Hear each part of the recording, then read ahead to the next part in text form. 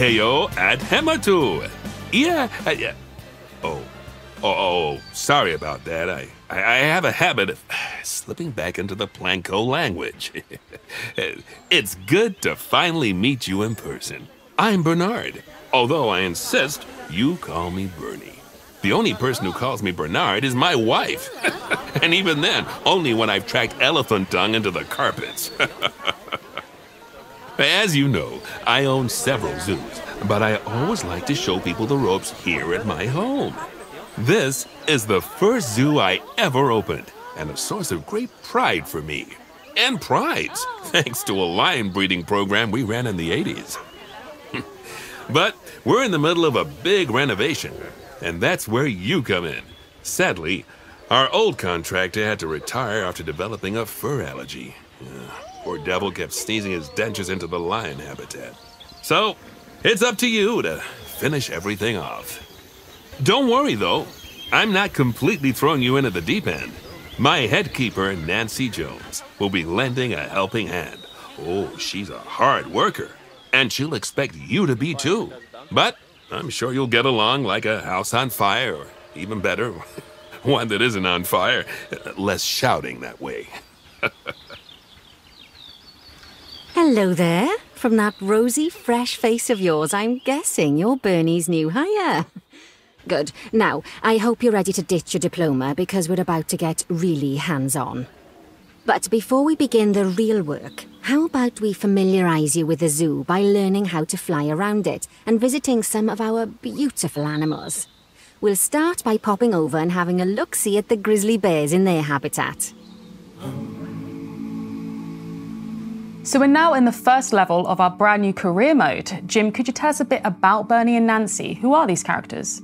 Bernie is what we class as a mission giver within the game. He appears at the start of a scenario to introduce it, and then he'll pop up again after you've achieved bronze, silver, and gold in your objectives. Bernie's really quite a lovely chap, and, and he cares deeply for animals and wants to use his zoos as a force for good. He's very warm towards you as a player, and he loves to make terrible dad jokes. Nancy is Bernie's head zookeeper and has worked with Bernie for a very long time. Her job is to teach you what to do in order to build a successful zoo. She's got a dry sense of humour and a no-nonsense attitude. She's incredibly knowledgeable about animals and is very passionate about their welfare, which is why she's Bernie's head zookeeper. And why was it so important to have a narrative in Planet Zoo? We wanted to give the player an added purpose to play through the career. We've now got sequential scenarios in the career uh, that take place all over the globe with lots of different challenges to face in each of them. A lot of care has gone in to make sure the narrative enhances the scenarios and the career mode as a whole. We've made sure there's a strong message about animal welfare and conservation, but we've also kept it light-hearted and family-friendly. So some feedback we received on Planet Coaster previously was the need for more tutorials and explanations. So was that a driving factor for improving it in Planet Zoo? Definitely. Planet Coaster had so many great features that were quite difficult to discover. So for Planet Zoo, we're teaching you how to build a zoo because there's just so much depth and so much to learn in the game. So let's take a look at the common warthogs. We have to go to the animal market to acquire them for our zoo, correct? That's correct. Uh, the animal market is where players can go to purchase animals to place into their zoo. Each animal listed has a price based on their rating and the quality of their genetics. So this will be an important consideration for players, especially if you're planning on breeding your animals. The list will be full of animals usually, but it's been emptied to keep things simple for tutorial purposes. There will be different animals available in the marketplace depending on the scenario that you're in too. Once you've purchased your animals, they'll be waiting in the trade centre until you're ready for them to be sent into your habitat. This is to allow you time to ensure that your habitat has a complete barrier and a habitat gate, as well as any other preparations you might like to make in advance. When you're ready, you can click Send to Zoo and watch as your caretakers fetch them from the trade centre and drop them off in your chosen habitat, which is a really nice feature that we've added. So what does the game tell us about the animal welfare so that we can make sure that they are thriving? There are a few different ways to check up on your animals and make sure that they're happy, but the most comprehensive breakdown can be found in your animal info panel. You can access this by selecting any animal that you would like to take a closer look at, and it will give you an overview of that animal's current welfare. If something is showing up as orange or red, then you'll want to try and address these issues that are causing that animal to be unhappy. When a category is showing up as green, this means that the animal is content within this area. You can also check all of your animal's welfare by using the heat map feature and selecting animal welfare. Uh, this will colour any animals that are unhappy as orange or red, so you can really easily see where there are problems in your zoo um, and how to address those. We can use all of this information to see that the warthogs still need a feeding and water station, as well as some enrichment items to increase their happiness. We haven't used them in this tutorial, but we have implemented filters for all the species in-game, so that players can really easily see which feeders and enrichment items are needed for each animal. Feeding stations are important as they allow players to have control over their placement. If players don't have these, then keepers will place food at random placements on the floor. It's a really important thing to consider, all of the object placements and the feeders, but that's something I'll go into more detail later. So we're over at the common ostrich habitat now. So what's happening here as we can't place the animals yet? Before you can place uh, the ostriches in the zoo, we've got to build them somewhere to live. So this means building a complete loop of barrier. Uh, we've already got some, and we just need to finish it off. We build the habitats using our piece-by-piece barrier editor. You can change the length of each barrier section, whether a section is curved or straight, and a load of other things as well. While we're building this one in brick, there are several different types of barrier available, including one-way glass and null barriers. Ooh. So this still isn't complete as the guests can't see anything? No, not yet. An important part of building a habitat is making sure that the guests can see into it. Guests obviously want to see the animals when they go to a zoo, and they gain happiness from getting good views. Mm. So glass is obviously a great way to do it, and it's easy to swap one type of barrier for another by selecting uh, the barrier that's already there and clicking a different barrier type. You can also build paths higher, so your guests get a better view just by looking over the habitat barrier, or you can build bridges to go over the top of a habitat. There's a lot of different ways to give guests views. Great. However, making it so every inch of a habitat can be seen by guests can be quite problematic. So when you're building a habitat, you need to make sure your animals have somewhere to disappear to. This is where one-way glass comes in really handy. Yeah. And as we continue to upgrade our common ostrich habitat, how important is object placement? Object placement is very important as it impacts how and where your animals react and interact with them, which will also impact guest visibility and happiness too. That's things like placing feeders and uh, drinking stations, toys near guest viewing points means that animals will be more likely to go there more often. It means that guests will get more views of your animals, they'll be happier um, and all around give you a better zoo. It's also good to consider things like donation points, setting these up uh, for your guests uh, near those viewing points will make guests more likely to donate to your zoo. Yes, That's interesting. and uh, whilst being strategic with placement in habitats, the same will go for staff and facility buildings? Yeah, very much so. We've definitely added a strategy to building a zoo into the game. To start with, guests don't really like seeing facility buildings. Mm. So like the keeper huts and staff buildings, so you need to build these far away from guests. Where we're placing the keeper hut here is more than far enough away from the guests. More importantly, the path it connects up to is a staff-only path.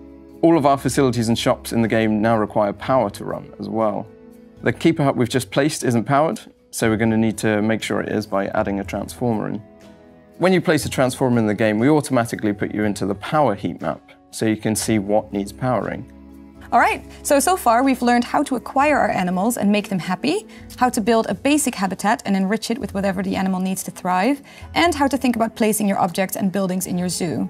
So what's next for us? Uh, I think we should look at putting together a Bengal tiger habitat. Ooh. So first of all, we need to build up the perimeter of the habitat.